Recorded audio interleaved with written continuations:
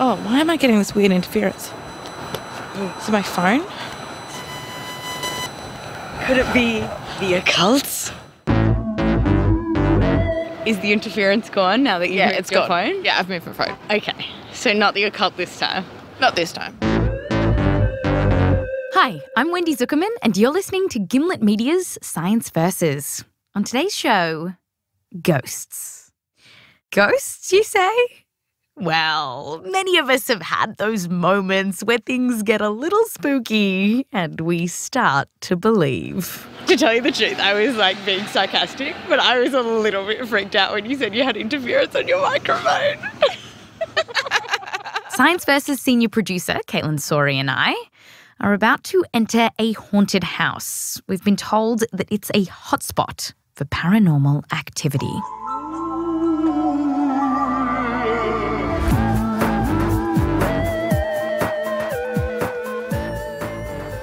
Oh, here we go. This one's. There's a blue door. It's very beautiful. It's pretty dark inside. Oh.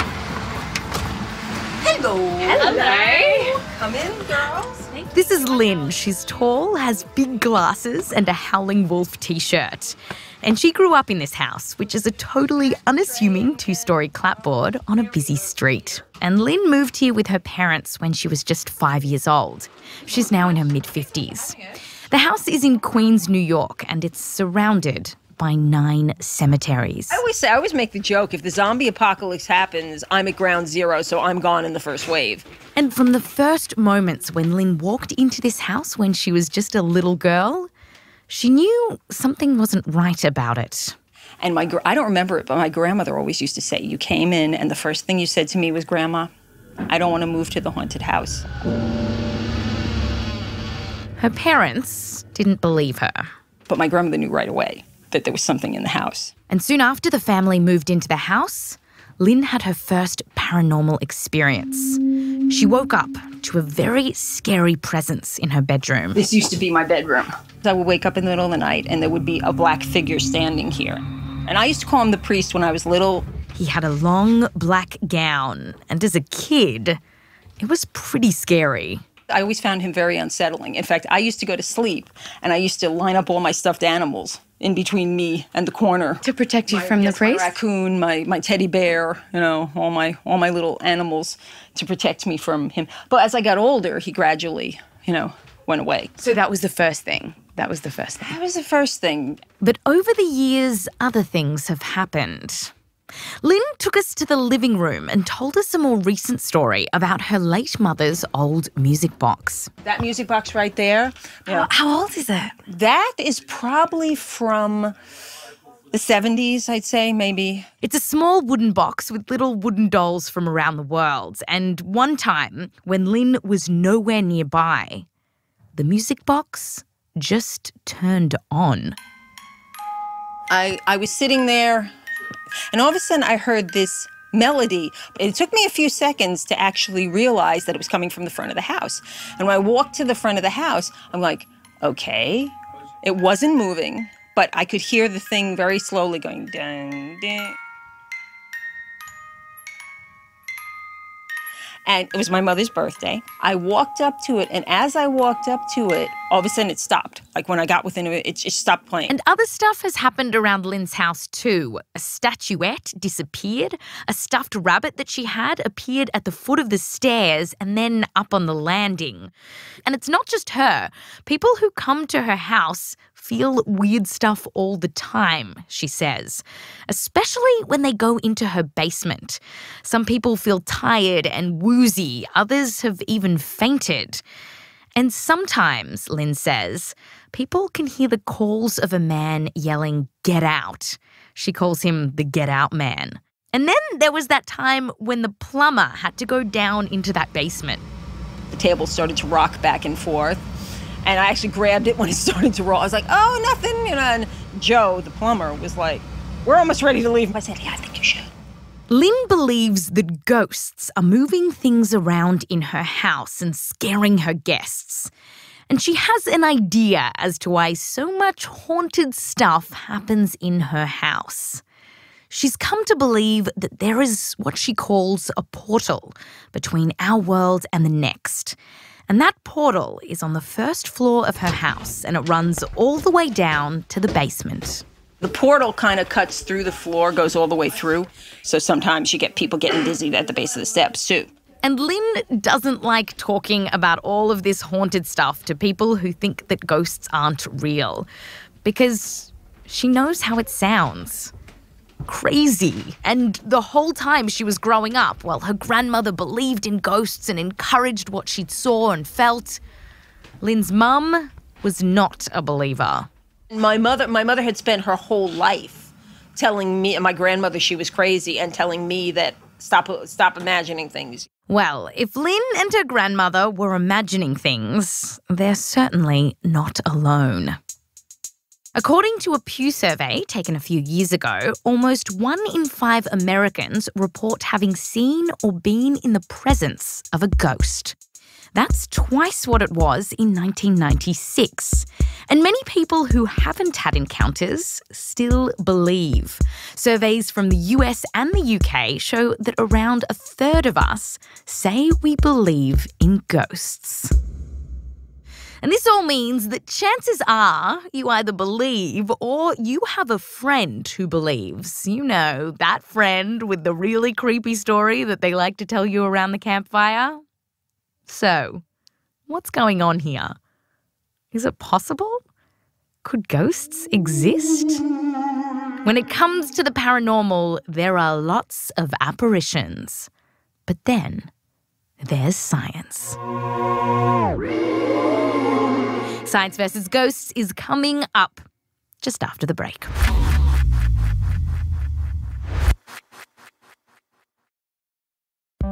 This episode is brought to you by Cole Haan. Produced in partnership with Cole Haan, we brought together the four hosts of Gimlet Media's Startup, Science Versus, The Nod, and Every Little Thing for a conversation about creativity, ambition, and making a mark on the podcast industry. I feel better when I'm striving. I can't even remember a piece where I'm like, well, that was perfect. And that whole thing that there is no, there is no perfect. There is no perfect. No, there is. To hear this extraordinary conversation, produced in partnership with Cole Haan, go to extraordinariesonthemic.com. That's extraordinariesonthemic.com. This episode is brought to you by the California Department of Public Health. You probably think it's just littering, but when a cigarette butt is flicked onto the street or ground into the sidewalk, it's pollution. Cigarette butts can take up to 10 years to decompose, and their toxic chemicals are poisonous to the environment. To learn more about the dangers of cigarette butts, visit tobaccofreeca.com slash gimlet. That's tobaccofreeca.com slash gimlet.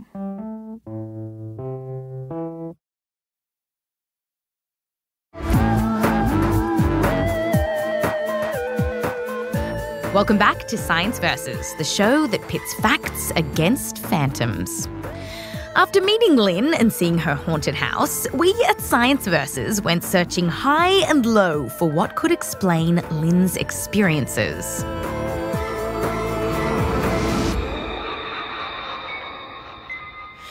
Now, ghost believers sometimes lean on theoretical physics to explain how ghosts might exist. Some paranormal groups, for example, argue that ghosts may exist in another dimension that closely parallels ours. So, we spoke to a theoretical physicist to find out if this was possible. Dr. Katie Mack is at the University of Melbourne. I'm a theoretical astrophysicist. I do cosmology, uh, which is the study of the whole universe uh, from beginning to end, all that kind of stuff. So, everything in the universe, that would include ghosts, right? so, we wanted to know if there was any room for ghosts in theoretical physics. If you really wanted ghosts to exist, Yeah, what would you pick as your, what, like, where's your best bet? right. So, yeah, I mean, it. I, I guess you know. Let's say that you want to believe in ghosts, and you just really, really want to show that it's possible. Like you can go to the edges of what we understand and what we have really solid theory about. You can posit another universe. You can posit a parallel universe. You can posit like a, a a parallel reality that's disconnected from our own. Yes, a parallel universe. You can put anything you want there, like absolutely anything. All the fairies live in the multiverse. Fine. And the reason that Katie is fine with putting ghosts in another universe is because most theories about parallel universes say that whatever is in that other universe can't interact with ours. So, ghosts in another universe can't mess with our atoms, our electricity, or anything that we can measure in labs around the world. And if they're not messing with this stuff, then they're not messing up our fundamental understanding of the world. But that also means they can't talk to you and they can't move stuff around in your house. And, you know, you'll never know if they're real or not. So that doesn't help us because Lynn's ghosts do interact with our world. They're moving stuff around and scaring her plumber. But Katie says there is one theory about parallel universes that could mean that ghosts living in that parallel universe might be able to interact with our universe. But here's what you need to know her idea of what a ghost is is very different to Lynn's and probably yours. Katie is a theoretical physicist, after all. If you had a ghost that was pure mass, like a black hole, if your ghost is a black hole. Yes. Say the ghost itself is a black hole. And your ghost is living on this other plane. A black hole, by the way, is a place in space where gravity is incredibly strong. But say that black hole in the other universe bumped right up against our universe. And again, that black hole is the ghost. Then in principle, your ghost could have could create some gravitational pull in our universe. So if if your ghost if your ghost was a black hole, it could not it could not scare you. Yeah, I mean like I don't know. I guess I guess like it, it would it could create a little bit of gravity here. Um somewhere in the universe. So, what Katie is saying is that there could, maybe, just maybe, be a parallel universe that is next to ours, and a black hole in that parallel universe that might be leaking just a little bit of gravity into Lynn's house. Could it knock over glasses or move things around by changing the gravity? Uh, sure. Yeah. It, um, if that happens, if you, if really, really, Katie, if, could if it? you like, yeah, I mean, if you have a black hole, stationary black hole that you put on this other dimension, and you got it to stand still, and it happened to be nearby to one of your glasses. However, it would also be pulling on your table, and you probably would notice other effects from from the gravity. And if you do, you should definitely make some measurements and write a paper and send it to the Astrophysical Journal because that would be very interesting. Do not send it to me. That's an important caveat. Please do not send it to me. Absolutely do not send it to me or any other physicist. However, if if somebody can make a measurement of the gravity of a black hole from another dimension affecting their silverware, um, that would be a very interesting experiment that we should do in a laboratory. It would be very weird if it were just, you know, your own kitchen where this was happening. But I mean, yeah, that, I can't rule that out. Can't rule it out. Okay, so that's exciting. The thing is, even if this ghost black hole theory is true, it can only explain why things are moving around in Lynn's house. But what about the phantom priest? What about the music box turning itself on? All right, we're going back to Lynn's haunted house to get more answers. And this time, we're hearing not from scientists, but from paranormal investigators, ghost hunters. And it's time to see what evidence they have. Lynn invited her paranormal investigating friends, Anthony Simonelli and Trey Howard, over. Anthony! Man, I see all your posts. I'd be wondering, you gonna hit New York anytime soon or what? We all head down to Lynn's basement where she said most of that ghost activity happened. The basement was hot, musty, and dark, and every now and then the heater turned on with a big clank. I was just interviewed back in October for an Italian newspaper for Haunted New York. Anthony is a committed investigator. He leads a group called Seekers Club of the Paranormal, and he's been doing paranormal investigations for a long time. I, I'm saying 30 years, but I actually been doing this since I was 13 years old. The first time he saw a ghost, he and his friends were taking a shortcut through a cemetery on the way home. I'm standing and my friend's in front of me, and I see over his shoulder there's a woman over a grave praying with her hair blowing. She had this long red hair, a white gown, and she's praying, like, you know, with her hands crossed, with her head down. So, you know, I'm 13 years old. I say, hey, you guys, check this out. And she was gone. Anthony's made it his life's work to try to find out what he saw. But I want to prove it because everybody tries to make you look silly doing this and like you're crazy. and everybody that's into the paranormal now had experiences when they were kids or something, and they're trying to find an answer for themselves. To find those answers, Anthony has bought a whole bunch of equipment, all sorts of gadgets to capture and communicate with ghosts. He's got a digital audio recorder, cameras, and a meter to measure electromagnetic activity. Haven't caught nothing yet, but the first time we catch something, it's going to be wild. First, he whips out that digital recorder. He's trying to pick up noises from the spirits that are otherwise inaudible to us humans. You see, in the ghost community, these sounds are called electronic voice phenomena, or EVP. And these types of audio recordings are a popular method for ghost detection among hunters. With his recorder on, Anthony and the team start putting questions to the spirits. The room may sound eerily quiet while they record, but when they listen back, they sometimes hear weird sounds. Evidence, they say, of a ghost. Today, they thought they felt the presence of a monk in the room and they wanted to know more about him. Trey started asking questions. to the monk, I want to ask, what is it that you're wearing? What color is your robe?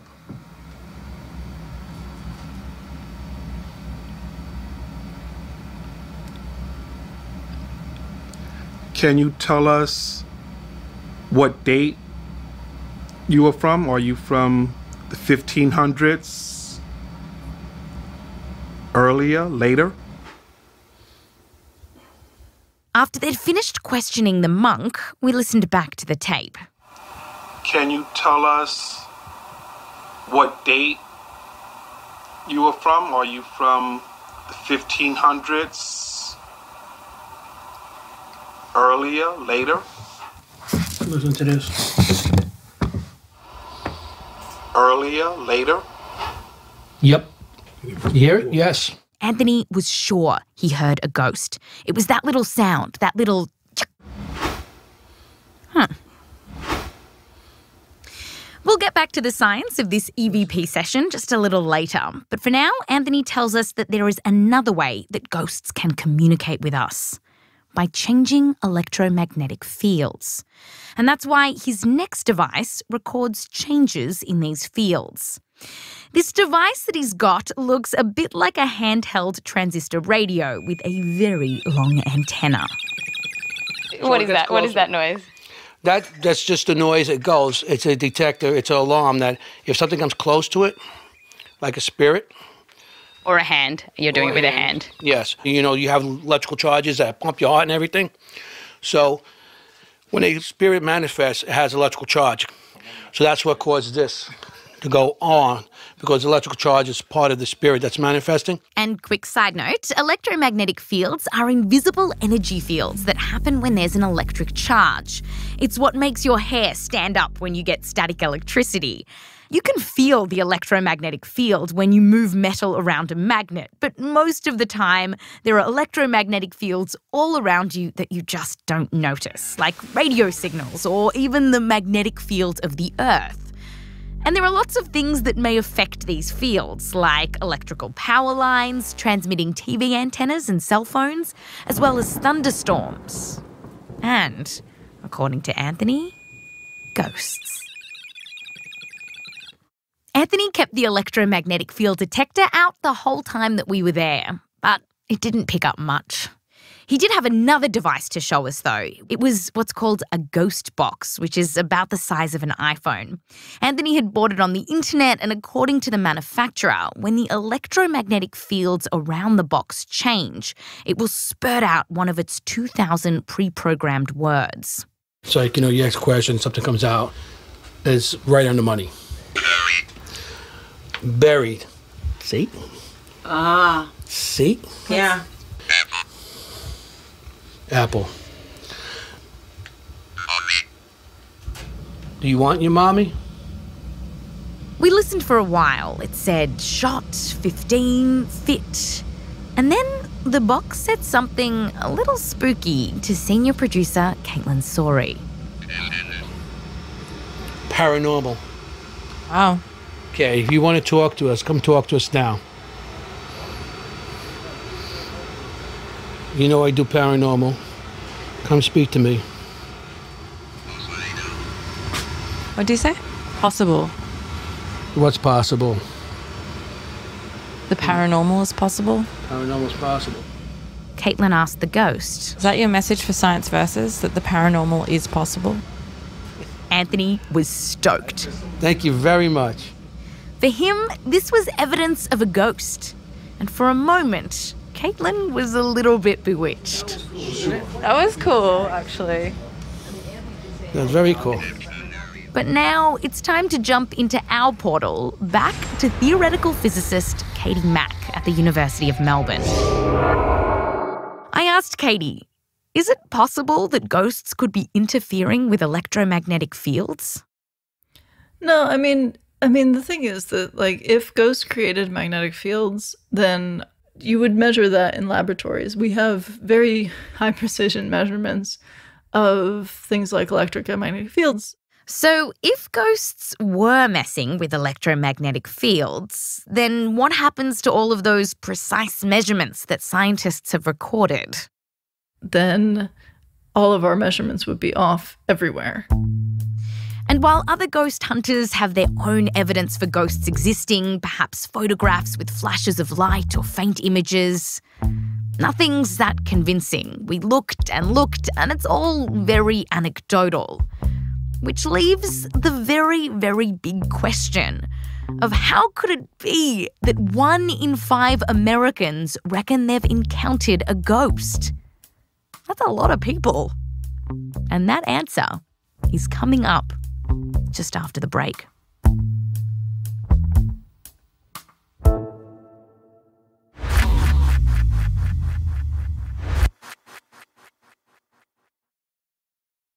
This episode is brought to you by the California Department of Public Health. We all know that cigarettes can be dangerous to our health, but have you ever thought about the effects cigarettes have on the environment? When a cigarette butt gets flicked into the street or ground into the sidewalk, it's polluting our environment. And all those cigarette butts add up. There are about 4.5 trillion cigarette butts leaking cancer causing chemicals into the environment. That doesn't just hurt us, it also affects our pets and wildlife. Cigarette butts can also take up to 10 years to decompose, so they're not going away anytime soon. This may be news to you, but it isn't to big tobacco. To learn more about the dangers of littering cigarette butts, visit tobaccofreeca.com slash gimlet. That's tobaccofreeca.com slash gimlet.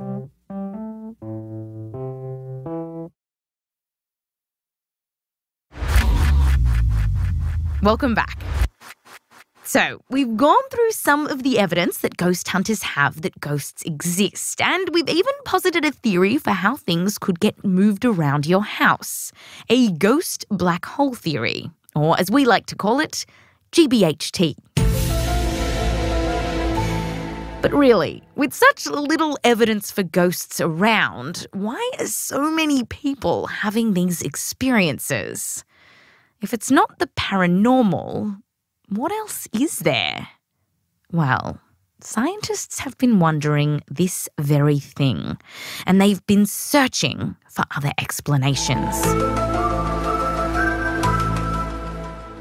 Remember Lynn's first run in with a ghost? She was sleeping and she saw a figure. A lot of times I would wake up in the middle of the night and there would be a black figure standing here. Baland Jalal, a neuroscientist at Cambridge University, has been researching this very type of encounter.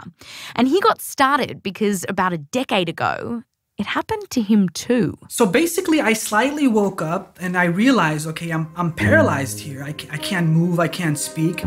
And I had this feeling of, of the, some evil presence. It was a ghost or some entity. And then I felt like suddenly this creature was pulling my legs and it was pulling my legs up and down and up and down. I, and I and I knew I wasn't dreaming. And then it started to choke me and it started to press on my chest so I couldn't breathe. This was very real. I had a very real supernatural experience. Baland was totally confused. It was just one of those things, right? You you're not you know you're not crazy because you're not crazy in all other respects. It's only in this particular thing. Baland has devoted a large part of his career to researching what happened to him. And he tells us that similar experiences to his own have been documented for thousands of years in cultures all around the world. In ancient Rome, this apparition was called incubus or succubus, and today in Italy, nonnas warn their grandkids of ghost like creatures who come in the night. These ghostly creatures are spoken of in Scandinavia, the Middle East, and Japan. But Baland and others now believe that these ghostly encounters are actually something called sleep paralysis. Sleep paralysis is actually a pretty common medical phenomenon. One review of 35 studies found that around 8% of the population have had it. But people can experience it in very different ways. It often happens when you're dreaming during REM sleep and you wake up and you can't move your limbs. I've had it and it's really scary. Even though I knew what sleep paralysis was, I woke up and I thought, oh my God, I'm going to be paralyzed for life. But I wasn't. No, I wasn't. I can move. I'm, there, I'm happy about that because it's just sleep paralysis. It's just a phenomenon. And to know why it happens, you have to know that sometimes when we sleep and have vivid dreams, our brains prevent our bodies from moving. In order to prevent us from acting out these very vivid and real dreams. When you're in REM sleep, parts of the brainstem can send their own messages, stopping those move signals from getting through. And that's why sometimes you can't move. But during sleep paralysis, you wake up, but your brainstem is still blocking those move messages. So you can't move your body. So it's simply a glitch in the machine, right? A little technical glitch, and we are mentally awake even though our bodies are physically paralyzed. And that all makes sense. But just because you're paralyzed, why would you start seeing ghosts or thinking that your legs are moving up and down? Baland has an idea, but he hasn't tested it yet. So this is where the science gets a little shaky. Here's his hypothesis it all has to do with our perception of our body. So I occupy this body, you occupy your body, okay? I don't occupy Brad Pitt's body, unfortunately, all right? So we all have a sense of a body image, right? Okay, this is created in the brain. But during sleep paralysis, when the brain tells the body to move, it doesn't. And that creates mixed messages in the brain and it gets confused. You, you send command neurons, move, okay? Move but there's no feedbacks from the from your body. So your body image gets distorted. And according to Baland's hypothesis, your brain is so confused about where your body is in space that it's kind of projecting your body out in front of you. And this can cause you to feel a presence in the room or even have a full-blown hallucination of a figure. Add to this, potentially, you start being afraid because you can't move, which is terrifying. And maybe you've even woken up from a frightening, vivid dream. You put it all together, and it might make you see a shadowy figure that perhaps looks like a scary priest or something else, just like Lynn saw as a little girl. So, you wake up and see something weird, and it don't look good. And you create a very vivid, very real hallucination of creatures in your bedroom that can have all kinds of shapes. So it's it's a it's like a little bit like when you misspell something in Google and it just says, "I think this is what you meant." Exactly. Well, that's a very that's a very good way to put it. But in this case, your mind's autocorrect has gotten it wrong. Very, very wrong. Conclusion. One scientific answer for ghosts is that sleep paralysis is causing you to sense something that isn't there. But this research is really new. And the thing is, even if this hypothesis does pan out, while it's a very ghoul idea, it would only explain the ghosts that people encounter when they're just waking up. We need more ideas. What else might there be? We kept trying to scare up explanations and found our way to Shane Rogers, a professor of environmental engineering from Clarkson University in upstate New York. Now, Shane has been interested in paranormal activities since he was a boy.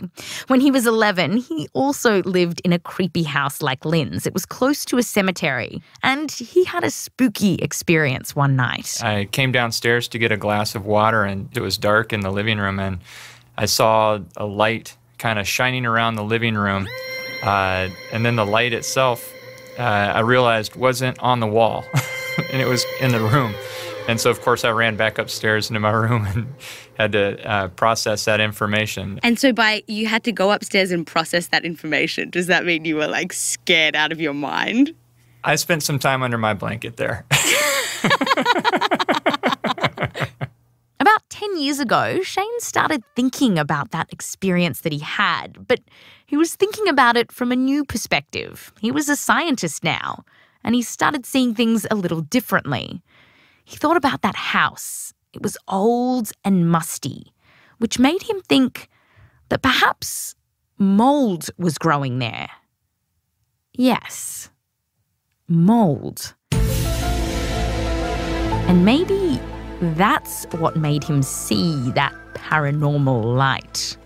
So, why would mold cause something strange in the neighborhood? Well, Shane tells us that when molds reproduce, they can release spores in the air that you breathe in. And sometimes, if you're sensitive, these spores can make you cough or wheeze and potentially trigger an inflammatory reaction.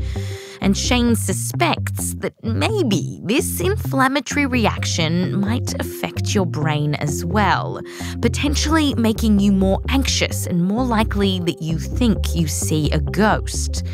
And he thinks that this might happen if you're already in a scary place, somewhere that already seems haunted. Perhaps as you process information in those types of places when and you're having uh, unease, anxiety, and those sorts of things, you you know you process it in a different way, and and uh, Oh, so you're you're like already primed to be thinking this is going to be a haunted house, and then the mold tips you over the edge. yes, yes, the experiences that you have because of your exposure to the mold uh, tips you over that edge. Yeah. To make his case, Shane leans on small studies and case reports that document neurological symptoms like fatigue and difficulties concentrating in people living or working in damp or mouldy places.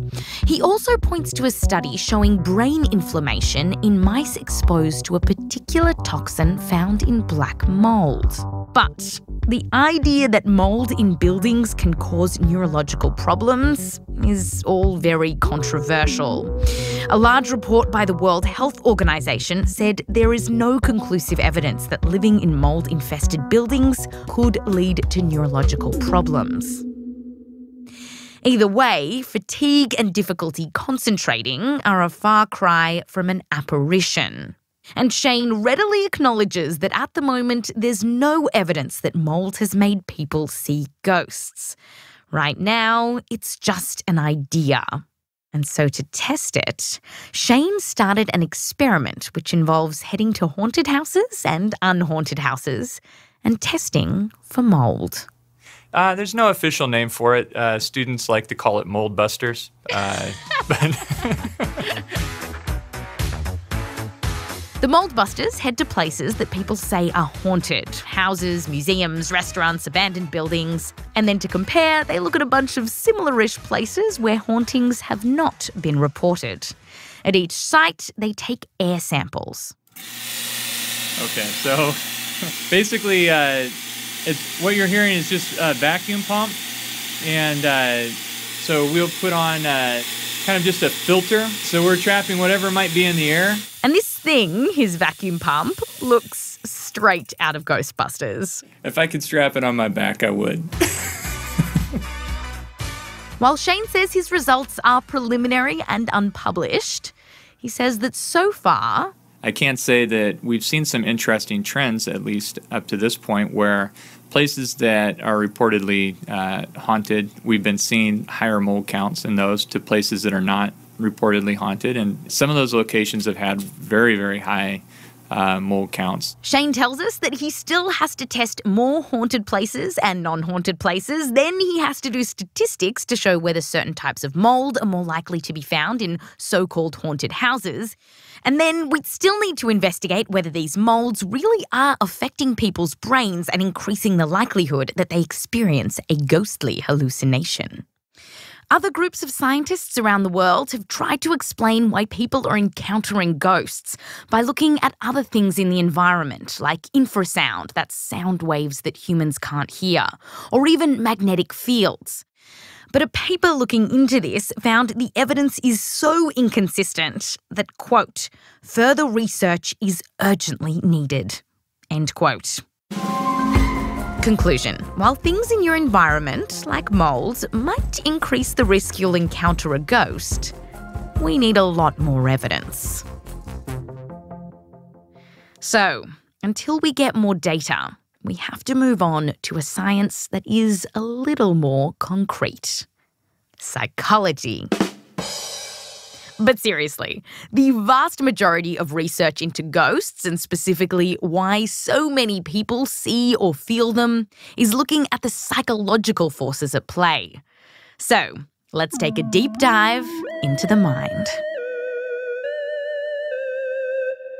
Last up, who are we going to call? Chris French, a professor and head of the Anomalistic Psychology Research Unit at the University of London. And that means he studies why people believe in ghosts and other paranormal phenomena. Well, ghosts are a tricky one because typically with ghosts. Sorry, we've got, we've got a dog in the room with us and she just flapped her ears. Let's listen again. Definite dog flap. Stop it, JC. Right. So, for a long time, Chris was a real believer. When I was a kid, I was terrified of ghosts. I had to sleep with a nightlight for very for many many years. Did you see a ghost? no, I don't think I ever actually saw one, but I'd always lived in fear that I might. All through university, and even as he started his PhD, Chris thought that ghosts might exist. But now, as a professor, he thinks there are other reasons. He even devised a psychological study to test why people keep encountering ghosts. So uh, we thought, wouldn't it be fun to create an artificial haunted room? Can we actually induce these kinds of experiences in people? So he builds this room. If you went inside, it was just white, it was circular, and there was nothing in it. He got about 80 people to wander around alone in the room, and he told them they might experience mildly unusual sensations. Go in there, stay in there for 50 minutes, you can wander around and, and tell us whether you have any strange experiences. Were you tempted to go on the speakers? Ooh. that would be totally unethical and we wouldn't dream of it. Yeah, it would have been funny, but no, we didn't do it. And people did have experiences in the room. No full blown ghosts, but Some people came out saying, Whoa, that was really weird. Um, some people felt dizzy or odd, and a few people even experienced terror. And those are the kinds of experiences that people typically report when they go to reputedly haunted locations. I mean, it's it's actually although typically when you talk about ghosts, it summons up an image of some kind of full blown apparition. That is actually kind of remarkably rare. It's much more common for people to just report these kinds of milder anomalous experiences that I'm talking about. And what he found, and this is critical to the study, is that people who were found to be more suggestible were more likely to have these odd experiences. So, the most parsimonious explanation is basically that if you say to some suggestible people, go in here and you might have some weird experiences, some of them do. It's just the power of suggestion. And Chris says that we can all be affected by this. I'm sure you've had this experience yourself that if you go into a, a, an old building and somebody says, oh, it's supposed to be haunted, it suddenly feels very different. You start noticing every little anomaly, every little creak, every little noise that you might otherwise have not paid much attention to. Could it be the occult? No, no idea what he's talking about. Anyway, uh, while there isn't a lot of work on this, and the studies tend to be quite small, other work has found that the power of suggestion can play a role in making people encounter ghosts. In one study, researchers created fake seances with an actor and brought 110 people to the events. The actors suggested that a table had moved during the seance, when it hadn't. After the fact, almost a third of the participants thought the table had moved. A third? It's pretty compelling. A table moving when it was still. But when it was suggested that another item, a handbell, was moving, only 10% believed that it was. And this is why Chris says that this isn't just about suggestibility. There's another factor at play. A second important factor is belief. If you believe in ghosts, you are more likely to report these kinds of experiences. Chris told us about another study where a group of researchers tracked the experiences of over 450 people as they walked around Hampton Court Palace, which is reputed to be one of the most haunted places in England. And yes, you can guess the results. It was the believers who reported the most of these kinds of experiences, and they were more likely to say they thought it was due to some kind of ghostly encounter. Believers had significantly more paranormal experiences, like sensing a presence or hearing unusual sounds, than did the non believers. And in some people, Chris says that these psychological forces can be so potent that when people say they see or hear or feel ghosts, they actually see or hear or feel them. Chris says it's like a hallucination. Typically, if you say to someone who reports that they've they've seen a ghost, oh, well, maybe you were just seeing things. In other words, you were hallucinating. They'll get very defensive because they interpret that to mean you're saying I'm crazy. But it doesn't mean that at all. We can all, under the kind of appropriate circumstances, hallucinate. On top of that, once you believe something to be true, you can start seeing signs of it all around you. This psychological phenomenon is called confirmation bias, and we can all fall prey to it. So, when your friends say they saw a ghost, believers are more likely to take that as even more evidence that ghosts exist. Remember that EVP session? Anthony, who believes in ghosts, heard a little chink Earlier, later? And was convinced that it was a ghost speaking to him. And then once he said that it was, Yep. You hear it? all of his friends agreed. It's cool. Conclusion When you've got a group of people who believe in ghosts and go on hunts together expecting to find them, psychological forces can kick in, which ultimately means that the friends create a world in which, for them, ghosts can exist. We spoke to Lynn about all of our scientific ideas the black hole, sleep paralysis, a mold infestation, and even the notion that it's all psychological forces. But ultimately, Lynn said that these ideas just didn't satisfy her. For people who believe, no proof is necessary. For people who don't believe, no proof is ever enough. You know, I mean that that's just the way I look at it too. So we haven't we haven't convinced you, or these scientific theories don't don't help you out. No, I'm not. I mean, I'm not saying these aren't theories that might actually explain other situations and other things, but it's not my reality. We're not here to convert anybody. We believe what we believe. We have our reality and our experiences. And truth is, the science isn't that robust. One paper, published in 2015, wrote that the scientific explanations for hauntings thus far, quote, have yet to provide comprehensive theories that account for the breadth of encounters reported, end quote. Now, that's mostly because most scientists aren't working on paranormal activities. But it's also probably because there are some things that science just can't prove, or in this case, disprove. And that leaves room for believers to keep believing. And Dr. Katie Mack has a rather spirited response to all of this. If you tell me that, you know, one of these days when I flip a coin, the coin is going to, you know, come out of my hand and, and shoot off into space, you know, I can flip the coin thousands and thousands of times and not have that happen. And you can always be like, it's going to happen next time. And, you know, there's not a lot I can say to that. But if, uh, but I feel like really the burden of proof is on you at that point. If you want to hypothesize something as extraordinary as ghosts, you need like mountains and piles and decades of evidence that prove it beyond a shadow of the doubt. And that is not something I've seen. That's science versus go- So oh, the bit about sorry. the black hole in the in another universe knocking the glass off the table, I feel like I need to check my numbers on that.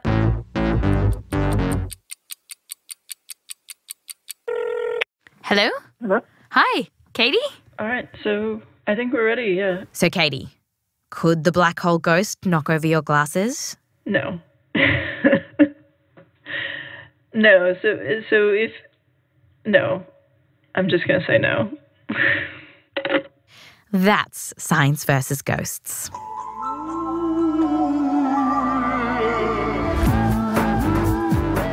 This episode has been produced by Ben Kebrick, Diane Wu, Heather Rogers, Shruti Ravindran, and me. Our senior producer is Caitlin Sori. Our editor is Annie Rose Strasser. Production assistance from Audrey Quinn. Fact checking by Michelle Harris. Sound engineering, music production, and original scoring by Bobby Lord. Thanks to Dr. Ciarán O'Keeffe, Dr. Neil Dagnall, Dr. Giulio Rognini, Raymond Swires, Dr. Joseph Baker, Professor Kwaiman Luke, Professor Kinseng Chiang, Professor Tapan Saka, Professor Maxim Gitlitz, the Zuckerman family, Joseph Lavelle Wilson, as well as Jorge Just, Devon Taylor, and thanks to Haley Shaw for those spooky violins during the Science Versus theme song. Next week, we're throwing down on the biggest controversy yet. I'm Wendy Zuckerman. Back to you next time.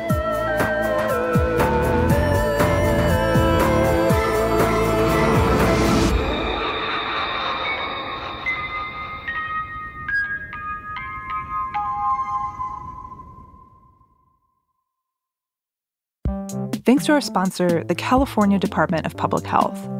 Cigarette butts are toxic, and right now there are about 4.5 trillion of them in the environment. They pollute our streets, our waterways, and our parks. To learn more about the dangers of cigarette butts, go to tobaccofreeca.com slash gimlet. That's tobaccofreeca.com slash gimlet.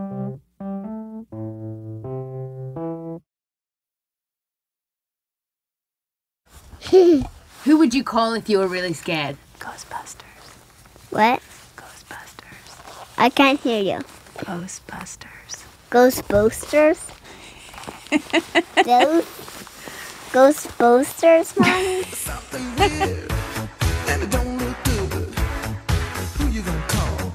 Ghostbusters.